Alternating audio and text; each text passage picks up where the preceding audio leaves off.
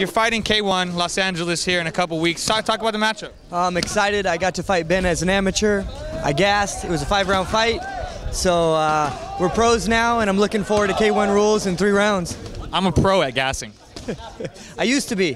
When got a new trainer as far as uh, conditioning and just the experience over the last. I think it's been about six years since we fought.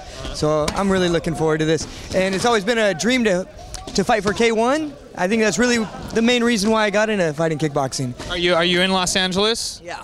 So you get to fight right here in front of your hometown as well. Absolutely. Well, I'm, I'm from Riverside, so about 50 miles away. Yeah, so not too far. But a dream coming true. So, Okay, give me a prediction. oh, knockout, of course. What round? Any round, I'll take it.